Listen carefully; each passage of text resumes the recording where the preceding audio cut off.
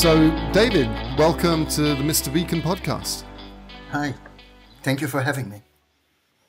Uh, it's a pleasure. Um, so, in this show, we try and give people insights into all the different aspects of digital to physical convergence. And we spend a lot of time talking to people that make beacons and gateways and cloud software and so forth. But you know where I see the uh, the future, and I've voted with my my feet in terms of joining uh, is this use of the label uh, to join the digital and physical worlds. And of course, you can do that in a number of ways.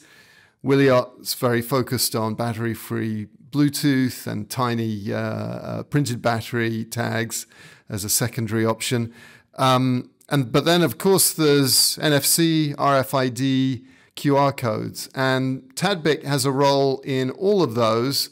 And you guys are what some people would describe as converters. And I remember when I first started at Wiliot and we started looking at, hey, is there some way of getting Bluetooth into a label? And we came across converters. I had no idea what converters were. So can you can we start this off by explaining a bit about what a converter is, and then we'll talk a bit about Tadbik and uh, and what you do and how you do it and some of the things that you do that are different to a traditional converter. But imagine I've just arrived in this ecosystem uh, from Mars. Uh, what is a converter? Well, um, basically, a converter is um, um, um manufacturer that um, know how to turn materials, different type of material, plastic material, paper materials, into a label with some um, smartness or um, with some intelligence uh, in it. And that intelligence, of course, is coming uh, from uh, a connection between a chip and antenna on any type of surface. And if um, mm-hmm. a converter know how to take that, to put it and encode it, and encode it into um, in a special way uh, and add some, uh, um, of course, adhesive to it, so that that can um, deliver information seamlessly. So, if life was simple, there would be one label, you could put it on everything, and that would be great. But the reality is that's not the case. What are some of the complexities that you have to deal with as a converter? What makes one customer different from another? Actually, um, just think about the different items that every customer has. Not every one of them wants just to take boxes. And even a box is not just a box because it can be made from different materials. And I would say that there are three main things that make every single um, RFID inquiry very special. Um, first of all, it's it's the question of which materials are the items that we want to tag because they need to be recognized. So every materials react, of course, by physics um, differently to um, RF signals. So a glass is transmitting RF or blocking RF better or worse than paper or metal. So, um, first of all, you have to analyze what um, type of material you have in front of you to find the right label. This is already um, distinguishing uh, a lot between the one label and the other, the one project and the other. Um, the second level, of course, um, it's um, it's it's it's what are the expectation of the customer in in uh, on on read performance on how do uh, how far do I I, I want to reach mainly in the RFID world. In the NFC world it's a little bit different because it's a near field communication but in the UHF RFID I'm expecting already to have couple of meter and not only couple of meters distance I also have sometimes in a bulk uh, the wish to have that also going through a gate in a certain speed so, how do I get the best performance out of my um, label uh, on the items that I want to tag? And it has to do by nature with the size of the antenna as much as the sensitivity of a tag. uh, the better the sensitivity and the larger the antenna. So I will just get a better read distance. So it's varied mm-hmm. between 50 centimeter up to 20 meters uh, in, um, in in that technology. And let's not forget, um, Steve, we're speaking about battery-free technology. Okay, we didn't get into that battery assisted. We didn't get into anything mm-hmm. which, with assist uh, with the assistance of more energy, to get better distance. Uh, and and and last but not least, of course, um, every customer uh, has um, his very unique situation on on the product. Sometimes we um, we have customers that they just want to have a very um, durable face of the um, of the label, so that when you're working with a forklift, and even if such a label is going to get hurt, that it won't that it will continue working. Other is saying, oh no no that's not so important. I just put it on my boxes and I just want to have it with a simple paper. So between paper mm-hmm. and in mold technologies, you will find an entire scale on uh, solutions uh, that need to be uh, um, considered uh, to find the right uh, to find the right uh, solution for customers' inquiry. And can you explain what in mold is? You, you use that term. In mold is, is, is very very simple. Um, all the aspects of um, injection, plastic injection, or uh, polyurethane injection into a form to create um, a box simple simple carrier, simple crate uh, is mm. is is based on injection technology, and um, that in mold means that I'm adding not with an adhesive. I'm making just part of the uh, box material. I'm I'm using that as the connection to my um, um, wireless technology. It doesn't matter what it is. Uh, so uh, so in, um, instead of a sticker, you actually have the the tag built into the uh, the material of the of, of of the label or the box. Absolutely. With, with all the with all with all the complexity uh, of again considering which materials I'm using for that uh, uh, for that for that injection, um, some materials has metal inside, and that of course need to be considered because metal is RF unfriendly. So it's a complex world. You do, it's like a Rubik's cube because I'm assuming you're dealing with marketing people and your customers who uh, care about aesthetics. You're dealing with industrial engineers who are looking at uh, production uh, processes. There's the kind of the uh, the, the, the business aspect as well. Um, so you must what sort of disciplines do you have to have in your company to solve this Rubik's cube?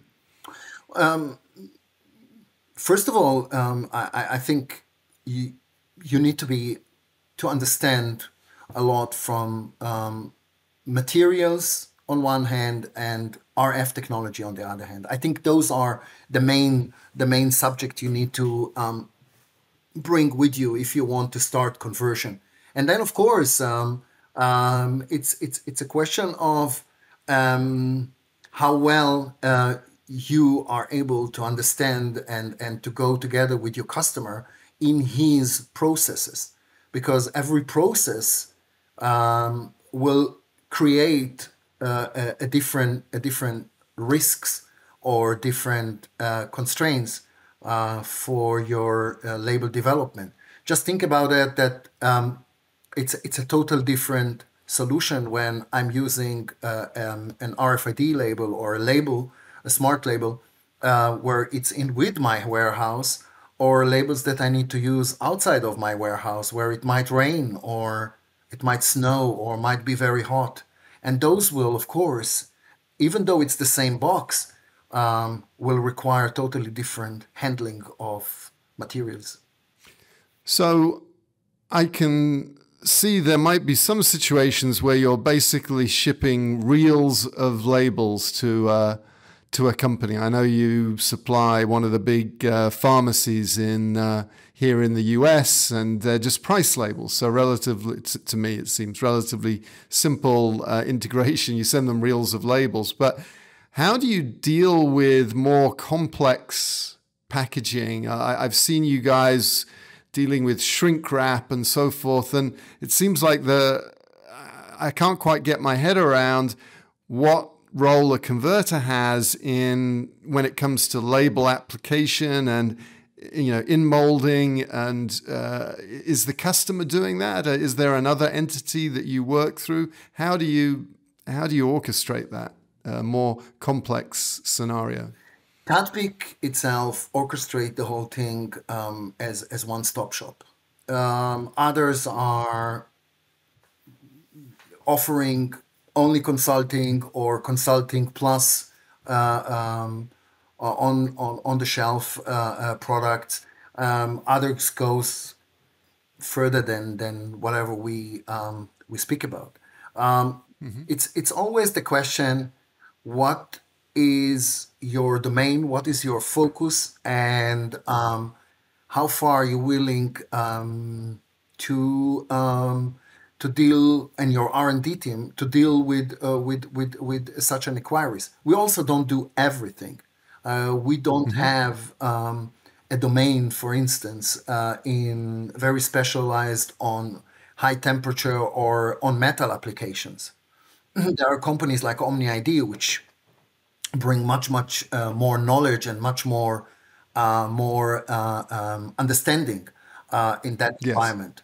But in all the environment which are um, around smart packaging. Well, if it's for beverage, food, pharmaceutical, logistics, um, I, you know, airports, um, luggage, whatever. Um, I think that uh, due to the fact that uh, is since 40 years handling uh, different type of um, raw materials and, and converting them and working with them uh, in, in different um, applications, that gave gives Tadbik so much know-how that we can go along uh, um, with our customers a very a very very uh, uh, interesting way. And uh, I think um, with Wiliot, that was probably exactly the reason why Tadbik was such an, an, a good partner for that because um, as you remember it, it, it, to find to find the right coating uh, uh, for such a new technology, such a fantastic technology, was very uh, constrained. Just think about blocking light, um, having a different type of adhesive, and and and seeing how they tune how that type of material is detuning the tag. Um, you know, uh, finding uh, which which materials can can uh, um, reduce pressure on the tag and so on and so on. At the end, the idea was uh, to get from every single pixel the best performance you can. And then put that in a machine that uh, produce um, 30 million attacks uh, uh, uh, in, in half a year. That's, uh, that's, an, that's, an, that's an, a different scale of capability. So taking that from development where you make basically handmade pieces to 30 million uh, um, streamlined production uh, and beyond. Uh, it's it's definitely um, something that demand um, flexibility and expertise for sure. Yeah, absolutely. Um, and you guys um, did more than just produce labels. Yeah. You've helped us design hardware, which uh, can be used for the testing and QA process. And uh, um, so this has been, you know, uh, certainly very valuable for, for us. And the fact that you were headquartered within a, a, a, uh, a short uh, distance from uh, each other has been really helpful as well. So maybe we should um, do a proper introduction to Tadbik. Uh, how how big are you? What's what's the what's the history of the company? What uh, what, what are the areas that you focus on? Well, Tadbik is a is a family company um, established 40 years ago uh, with uh, one big uh, um, um, mission to um, help uh, developing better packaging smart packaging. We started with uh, basically just normal uh, label and uh, sleeves for um, um, the beverage and pharmaceutical industry and developed from there basically and covered everything between special applications up to um, just normal logistics labels. Um, uh, in the Tadbik group, you will find 1,000 people who are engaged uh, uh, for Tadbik, and those are spread on three continents in um, uh, three different uh, um, production sites uh, with seven factories and 48 countries happy customers. So it's quite an interesting um, mid-size uh, uh, company for Israel, definitely the number one. Worldwide, um, Tadbik is um, significantly um, leading in in area for in-mold technologies, and um, we are helping um, big companies uh, that are global, uh, like Nestle, like uh, Unilever, but uh, at the same time, we are very very um, keen and and and um, um, eager to work also with the small startups in Israel uh, to help those uh, great ideas that uh, are being developed in that uh, environment uh, to make them big. And uh, whatever we can offer them, if it's our labs, if it's our expertise, if it's um, the knowledge that we have in in different um, areas, or even goes up to our um, sales infrastructure worldwide. Um, we are um, happy happy to share with them and uh, and make and make that um, family feeling and that feeling of um, the power of one uh, real. Mm-hmm. And that's also the logo, the slogan of our company. We try um, maybe just just uh, to quote the the the um, our um, founder um, uh, um, mantra was uh, let's make the impossible possible. We certainly did with us, and uh, that uh, relationship uh, right from the early days is something that uh, I really appreciate. Let's um, put a bit more flesh on the bones in terms of how our two companies are, are working together. So you're you're um, no stranger to NFC tags, RFID tags. Uh, you, have worked closely with uh, OmniID, where you came from. But um, uh, can you describe what you bring to market with respect to um, the the Wiliot Bluetooth technology? Well, in uh, if if I understand the question right, is uh, it's it's just about um, what do we do in the area of BLE uh, further mm-hmm. than um, uh, for Wiliot or including Wiliot. Well, actually, Wiliot made that great idea or developed that great a great product, great chip um, that um, is is is using um, a standard or using Bluetooth uh, protocol, um, and um, on one hand, and on the other hand, use battery-free uh, technology for um, uh, for creating uh, products or sensors that are solving different type of uh, problems that uh, or um, giving an answer to different applications that we were not able to fulfill like that. So mm-hmm. Um, near that type of uh, BLE uh, development, we actually not uh, having anything comparable to that. But I think that um, there is, as such, almost uh, only the active BLE in the market that uh, is mm-hmm. compared to that, and that is a field that we don't we don't go into. We try really to keep the magic of um, the battery-free concept, and um, I, I, would say hundred percent uh, or almost 100%. There is no never 100%, but uh, almost 100%. We are very much focused on battery free uh, um, um, um, technology. However, um, I didn't say 100% because for Wiliot, we did also a BAP de- development, uh, which we are very, very mm-hmm. Um, proud of battery assisted uh, uh, version so. of yeah. the uh, of the product. So uh, basically, if a company is interested in uh, integrating battery free Bluetooth technology into their packaging, they can come to Tadbik. And you guys have a lot of background. You know what works, what doesn't work, uh, what needs to be done to make things work, and you can provide tags and advise people on uh, the, the, best process for applying and uh, um, association and testing and that sort of thing. Is that a reasonable mm. summary?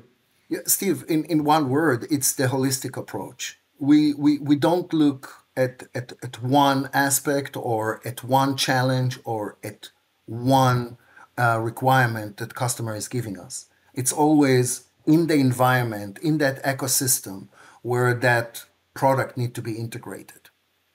So those that that covers of course all the different aspects that you of course spoke about and far beyond. Um, that and and we are very happy. Far beyond means also that if if customers comes to us and and and they want um, to speak about totally different type of technology, um, we are um, happily doing that with them, and and we have a couple of very interesting examples for that. Uh, what are some of the use cases that uh, you find most exciting, most most interesting of this battery-free Bluetooth technology, given that you've got uh, this up close experience with it? I think that it's fantastic to see what now happened just recently uh, with the use case of the grocery uh, chain in Israel in, in, in combination with the Wiliot tags. Um, I think uh, for the people who doesn't know the story, uh, they were trying every single different technology in the market before they really uh, agreed to, uh, to, to, to test uh, um, the Wiliot pixel, which they re- didn't really believe that something like this will, will work from the beginning. And at the end, um, we just see that uh, the use case is best evaluated by and and and and and, and found the best uh, um, as a as a best solution uh, with the BLE passive technology. Um, this is definitely one of the use cases which um, we think uh, it it's it's it's target on disruptive technology. It's it's target on something that change the um, way we look at our supply chain efficiency potential uh, totally different. It's not anymore what can I do to solve a problem. It is really how can I avoid getting into a situation which will create a problem? And um, in, uh, in, in the medicine world, it means how can I keep myself healthy instead of taking mm-hmm. any, any pill to become healthy again? And I think that it's much more um, uh, interesting and for, un- for sure sustainable uh, for the entire industry. It doesn't matter if it's food, pharmaceutical, whatever. Yeah, I think we're we're sort of waking up to what we've got and what the disruptive uh, impact is of this technology. But you know, for for those who don't know, you were talking about Shufersal, which is Israel's largest retailer. There, right. grocery stores are everywhere, and that project was tracking plastic crates, the, the, the vehicle, if you like, for produce, uh, whether it's tomatoes or zucchinis going from uh, the farm to the store. And, um, you know, as a, as a uh, consumer, you're not, you sort of assume that everybody knows everything about that supply chain. But the reality is 99% of our supply chains are in the dark. We have just like uh, occasional glimpses as uh, uh, companies that are working to in in automating those supply chains. Up until now, you haven't really known what's going on, and now with the kind of labeling technology that you enable and the the chip and cloud that uh, that Wiliot's providing, we can get continuous visibility throughout everything that's going on in the farm, in the packing shed uh, from the packing shed through the distribution vehicles into the distribution center of the grocery store, from the store. And uh, I'm not talking necessarily just about Shufersal. We've done a bunch of projects now that are like that.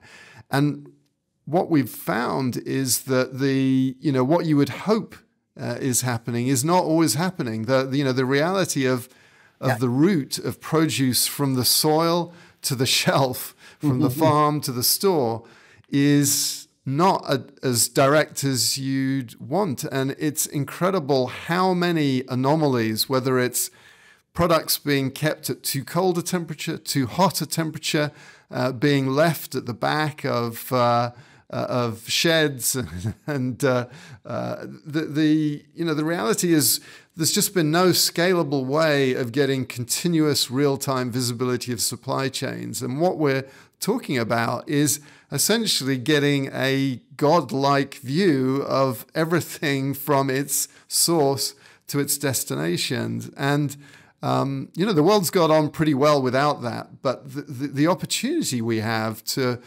slash waste and, and, and, you know, how many times have you bought strawberries at a supermarket, you get them home and they're bad or they go bad within half a day. Why is that? It's because rather than taking two days to get from the farm to your uh, pantry, it, it, took six days. And uh, uh, the only you know you don't you don't satisfy you don't solve that problem in batch mode you you do it by having real-time visibility and the only way you can do that is with IoT connectivity which is supplied down at the lowest level to the you know the, the, crates and ultimately to the primary packaging of the product. And the only way that happens is if you combine amazing semiconductor design technology with the ability to put uh, a sensor that is the size of a postage stamp and costs tiny amounts relative to anything before. But when you do that, the possibilities to make things safer, more efficient, less waste. Absolutely. I, I mean, it, it's transformational. And uh, I, I think I we've been working for years now, and you sort of, it's a bit like boiling the frog. You don't really notice what's happening around you. And then suddenly you realize, oh my goodness, this is not a small thing. That is, this is changing the world, changing the world. Yes, I'm, I'm, I'm very, I'm very happy that uh, uh, you, you, you speak about like that because I think that um, uh, there are, um, there is one aspect that always just just hit me every time again when I'm thinking about it. When you look at the uh, Wiliot pixels, they it's the only tool that I know that helps you at the same time to discover a problem or to discover an inefficiency and will at the same use will reassure when that inefficiency has been gone. It will be to find the pill that will not only make you healthy, will also reassure that you are healthy. And usually, yes. every industry, it's totally two set type sets of tools or applications to measure and to um, uh, eliminate, uh, or first of all, to discover, then to find this to, to be able to find the source to discover the problem to find the source of the problem to improve the problem and then to get the assurance that this problem really um, is being um, corrected and and and it's not part anymore of your supply chain and that for any time you want you can reuse the same the same thing the same single tool for all of these differences also on a long term uh, um, um, on a long on a long term process. Um, very very interesting. Never saw it uh, something sim- similar like that in any other technology. Uh, but um, it just show uh, that when you come to a point that um, you have the right hardware with a very very intelligent software that combination can can create an evolution. And to get to, you make a good point. It's you know, in summary, it's it's not just about analytics uh, and a dashboard that someone in management is seeing. It's about automation and driving interventions in real time in the supply chain. So the crates have been sitting for too long at the back of the shed, and the FIFO the first in, first out systems stop becoming a FIFO, it's become a LIFO. And so you're it can spot that in real time, send a text message to the manager to alert that this issue is happening. The the produce is in the uh, in the container and the refrigeration unit's been turned off by the driver to save gas uh, gasoline. That can be instantly uh, spotted and interventions can be triggered in real time. The crates have been delivered to the supermarket and they've been sitting on the supermarket floor for two hours when they should have gone from the cooler in the back to the, the cooler in the front. These are all the things that are causing food to get wasted, customers to be disappointed.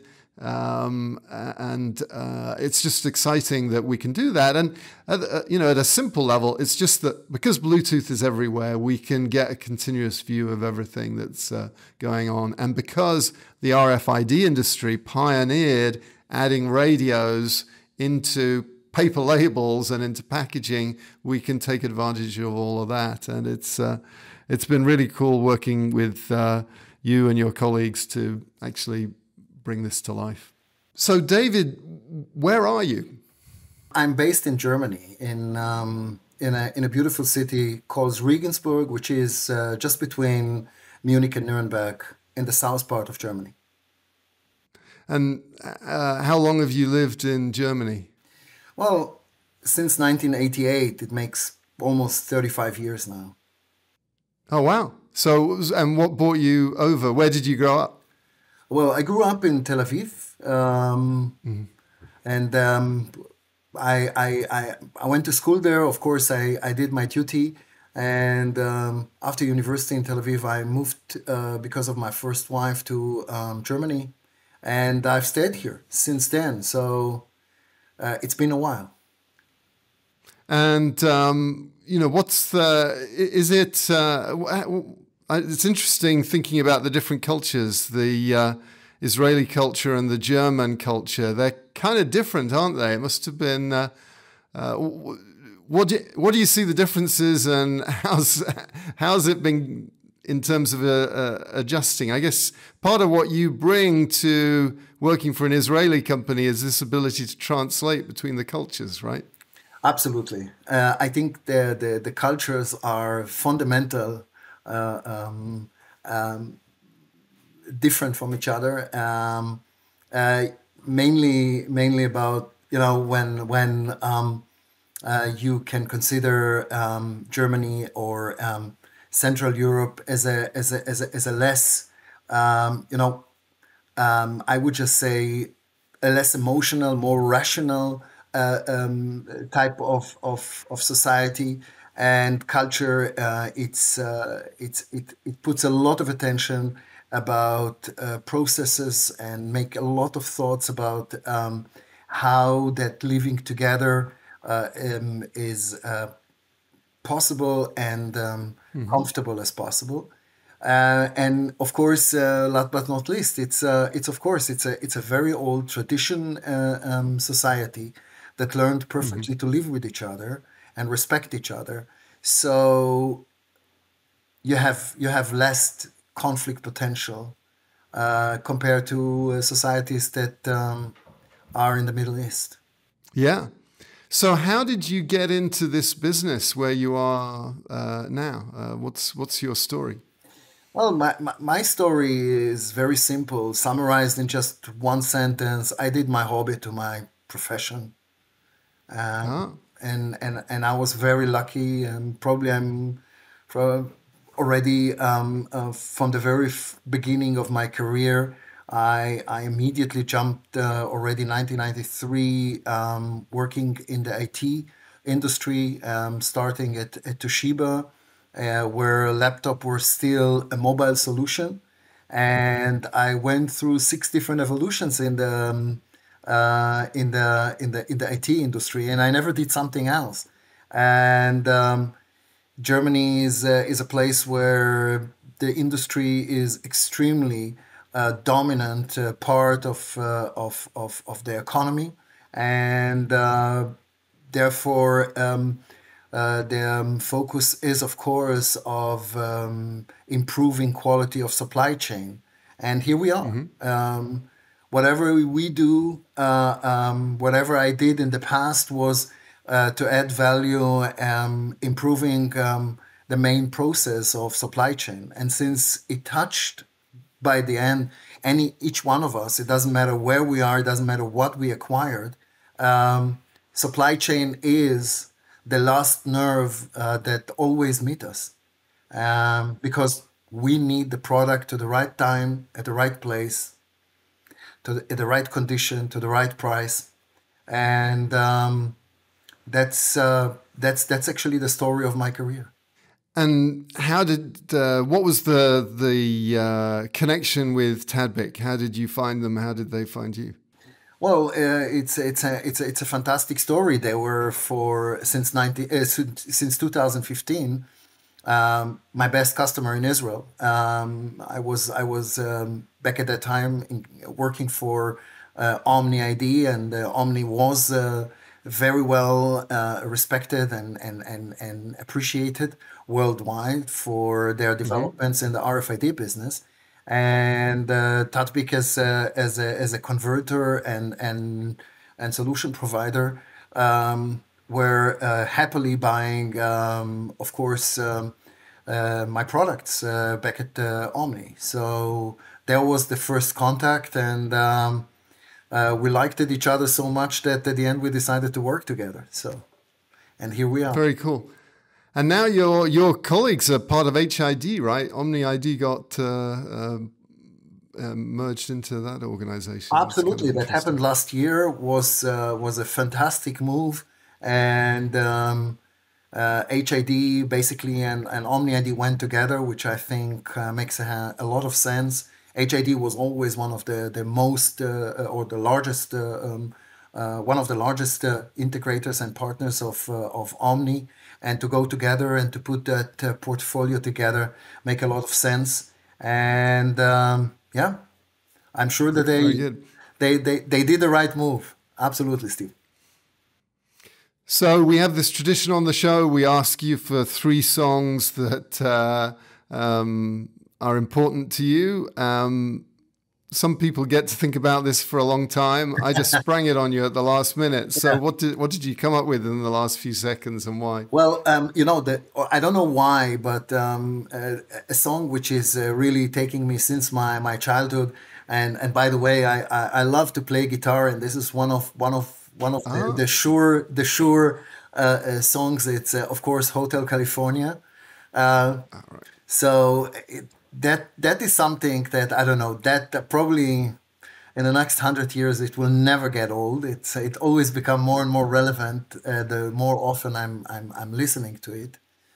Uh, I totally agree. I grew up listening to that in England on my in my bedroom as a kid on the stereo, and it just gave me gave me this image of what it would be like living in California. It's uh, California does a good job of marketing itself most of the time at least. Yeah, I think that that's probably uh, the most well-known, I think, um, uh, song about California, where which which uh, mention California. As much as um, another song which I really really like and appreciate is um, um Alabama. It's uh, coming back to ah. you. So. Um, uh, that's uh, th- but that that is was more that that energy that uh, that that fun uh, of, um, um, of of of kind of the, that that American American vision, American dream. Uh, that um, yeah, something which is actually very much at the roots of America, uh, and still never got old. It's um, the best wine, which probably not only California can produce. Uh, That's interesting. Yeah, the heart of the country. Yes, absolutely. Other other than that, um, I'm I'm a big fan of uh, a lady um, called Etta James, and um, I always uh, oh. appreciated um, her text and her music. And I'm I'm not very sure if you ever uh, saw also um, the um, movie about her life, which calls I haven't seen it. No, I have to look, it, look for it. It it calls a record, um, Cadillac record. Um, it's it's mm-hmm. it's a film that has been made a couple of years ago, not only just about Etta, but she was playing there the major role, and um, um, yeah, and um, of course. Um, uh, there are so so many uh, um, uh, songs of her which um, I just cannot stop hearing, and I'm speaking about the last 35 years. So the only thing Amazing. I'm really really sad about is is of course that I never saw her on stage, even though yeah. I was a couple of times in the US already a few years ago where she was still alive. But uh, oh really? Yeah, I missed two things. I've missed Ray Charles back in the 90s and i was oh. staying in a hotel where there was a live show of him uh, 1997 in uh, vegas and uh, etta james she died in 2018 or something yeah but very cool well thanks david appreciate it um, it's been great to talk with you. Thanks for helping to educate us in terms of that role of the converter. Thanks for telling us a bit about uh, um, what Tadbik is doing specifically. I think you really have a first mover advantage uh, with respect to the, the Bluetooth technology. And thanks for giving me uh, little bit of uh, an excuse to uh, uh, get excited about what we're doing together. Uh, so uh, I've, I've really enjoyed the conversation. I, I, I just want to want to thank you for for inviting me uh, to your show and uh, for having me. It's a great pleasure, and um, keep on doing uh, what you're what you're doing. I'm I'm a big fan of of you Very and good. your podcast. Thanks, David. You're most welcome.